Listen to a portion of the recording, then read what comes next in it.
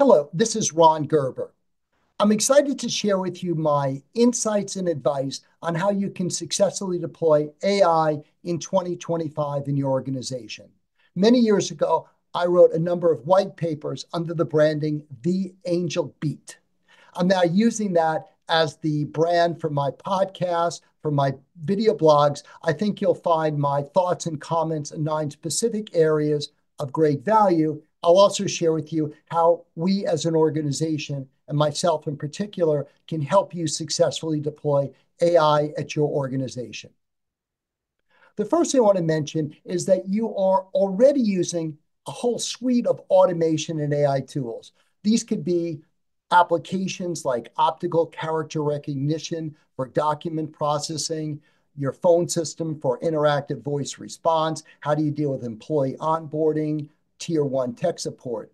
Many of these functions can be enhanced, eliminated, whatever term you want to use, by using a common AI engine and then customizing it for these needs.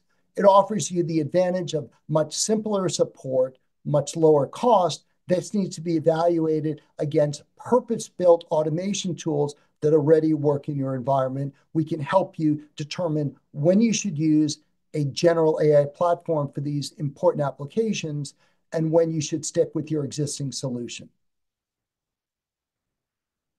The world of AI is very much like a PC versus Mac world. There are walled gardens. OpenAI doesn't play nicely with Anthropic. Uh, there's Copilot solutions, there's Cohere. If you look at the world of technology in the past, there were established standards x86, voice over IP, where Cisco, Nortel, Avaya phones could all be compatible. Kubernetes is now an, a widely accepted standard. Linux works across SUSE or Red Hat. The problem is you don't have that same compatibility across all these rapidly evolving AI platforms. I encourage all of my clients to look at parallel development paths as, as you're doing proof of concept because once you get on a pathway, it's very hard to change over the next three or five years. It could be something as difficult as converting from SAP to Oracle. One of the other options you need to think about is when do I purchase services, AI solutions directly from an OpenAI, from an Anthropic? When do I get them through one of the hyperscale providers? You see these logos here. Azure OpenAI Services is offered by Microsoft through the Azure cloud, whereas ChatGPT Enterprise is offered directly by OpenAI.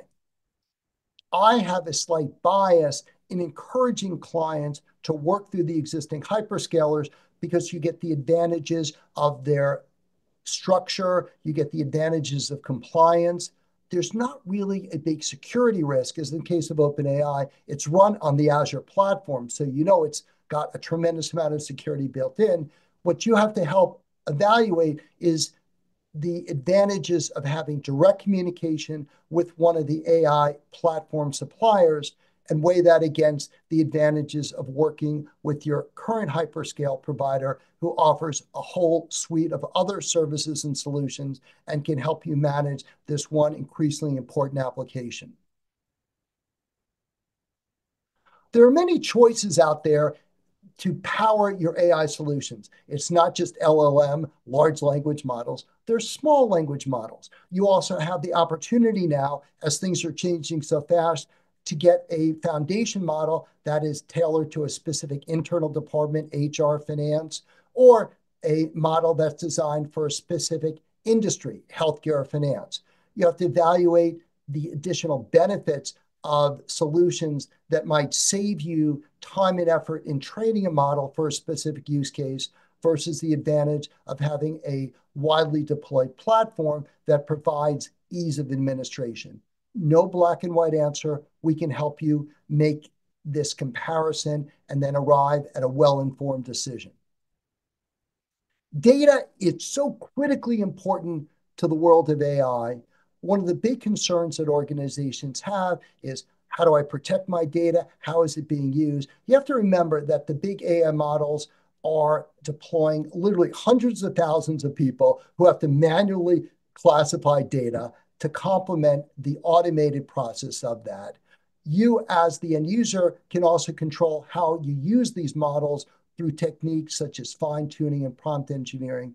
The big thing I like to emphasize is you have to make sure your data is RAG compatible, which in simple terms means it's going to be structured correctly to work with AI models. You just need to be very careful and think this through so you understand where the data is going, how it's being used, so your proprietary information doesn't get distributed into publicly available models, doesn't help your competitors train their models, or an analogous situation, if you've got some proprietary information, let's say you're a major financial institution, you don't want your data somehow getting into the public realm, and then a cyber criminal could then use that information to hack a bank's uh, or other financial network. So one of the big concerns, and it came up in the recent presidential election, is all the deepfakes out there. How do these AI models work? How do they create output?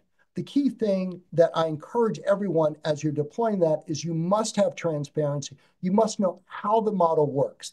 If you simply accept its results as a black box, you may run into problems because the output of that black box will change over time. You have to be very careful and monitor for hallucinations, which is a term for output of AI systems that may change over time.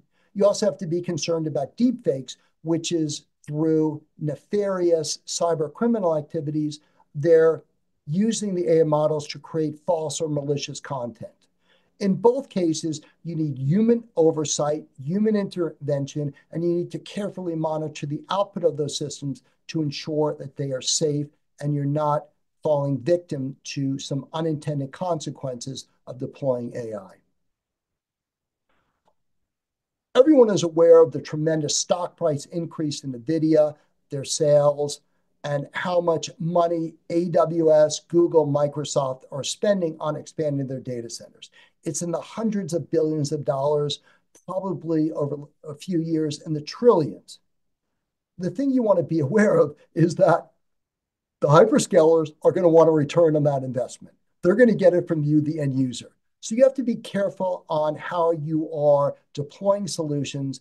And you know, there's a term FinOps. Now there's in AI ops that you need to be aware of to control your spending here. There are a couple of ideas that I work with organizations on. Maybe you don't need the output, the results of your AI modeling instantaneously. Instead of using expensive NVIDIA chipsets and prioritizing the processing of your applications, wait a few hours and you get the results. Maybe they're run on Intel chipsets, or maybe they're just run within 24 hours. It's interesting because it's almost like batch processing of mainframe applications. Another idea that organizations do is let me buy some of these AI PCs and do more of our AI work that, again, isn't so time sensitive at the endpoint where, quite honestly, you're not even relying upon the very expensive hyperscale processing done by the Microsofts and AWS and Googles of the world. We can help evaluate your workloads and determine what's the most cost-effective strategy by balancing the business needs against the cost of technology processing. HR is going to be awfully busy with AI. It's going to have a huge impact. Clearly, AI is going to eliminate jobs. Clearly, AI is going to create jobs. So there's going to be a huge demand for training, retraining of your employees. This covers all aspects of your company from the C-suite down to the factory floor. When you're thinking about your AI initiatives, you have to look at three things. AI is going to make everyone's job more efficient and they can save money. Beyond that, they might be able to make everyone's jobs more effective and provide greater analysis and insights so they can do a better job. In all cases, there are opportunities that need to be carefully thought out. Your people remain your biggest asset. I don't think AI is changing that anytime soon, but you need to work with them so you could have them successfully embrace AI and help your company continue to thrive. Many cyber criminals are already using AI, and the least trained cyber criminals can now do tremendous amounts of damage because you don't have to be so smart because AI can do it for you. So you could have AI create even more powerful distributed denial service of attacks, enhanced ransomware. You have to be aware that cyber criminals are absolutely using this, and it's a new threat vector. At the same time, your security operations center, your cybersecurity analyst, can use AI and ensure that they're not missing alerts. If you look at some of the unfortunate hacks, Uh, the breaches in the past, there were known remedies, but manual processing delayed the implementation of those fixes. With AI, you can make your security staff more secure. So just be aware of it. It's just a new computing paradigm. You have to stay one step ahead of the criminals because you're both using a lot of the same tools. We can help guide you in that. In general, when you look at all these nine initiatives, keep in mind that Ron Gerber, me, and my Angelbeat organization can help. We're excited about the future. As you can see here in this picture, we're excited about getting back on the road, running hybrid events, offering an opportunity to interact directly with end users, bringing together the world's biggest, most powerful companies to help the Angelbeat community thrive as an organization and as individuals. You know, a couple of ideas and things that we've done for organizations. First, we can do private and custom events. That's really powerful because there's so much going on. IT professionals, HR people, it's really tricky trying to go through all the logistical hassles of lining up speakers, understanding the business, the technical issues that organizations are facing. Just hire Angelbeat. We'll do all the legwork behind the scenes, get the right speakers under your direction to all come together. Then you in IT or other departments can bring together the entire organization. We can do a workshop that addresses issues from the C-suite down to upper management, mid-management, and make everyone look like stars. Really beneficial. Glad to do it. We do it all the time for our public events. Many organizations must create an AI risk management framework. It's really labor-intensive. It requires a lot of documentation. It's often required by your general counsel, by the corporation that provides your cyber insurance. Let us do the detailed documentation. Let us prepare the report that can ensure that you and the IT organization and other groups can focus on new initiatives.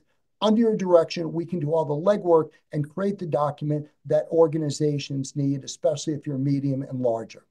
I can also serve as your virtual AI officer. This is a new area. It's very tricky to have the right person who can understand the technology, the use cases, what different platforms offer, and speak intelligently amongst all the different entities who all have their hands involved with AI initiatives. Let me do that, or there may be special projects involved. Remember, the expertise that I personally bring, again, some of these things, uh, my team at Angelbeat can help you run custom events. I can personally add value because I've worked in technology for so many years. I have incredibly strong relationships with Microsoft, AWS, Google, now working with xAI, OpenAI, Anthropic. We know all the players, and more importantly, we know your peers who are dealing with similar issues. And with my background, you can see it on my LinkedIn, I went to Princeton in engineering. I have a Harvard MBA. I've got the credibility, not just within the world of technology, but amongst your legal and general counsel staff, your CFO, your treasurer, your financial organization, and your board of directors. Thanks for your time and listening to me. Glad to help. You can see my contact information is listed there to the right. I look forward to working with you. Glad to help. Thank you very much.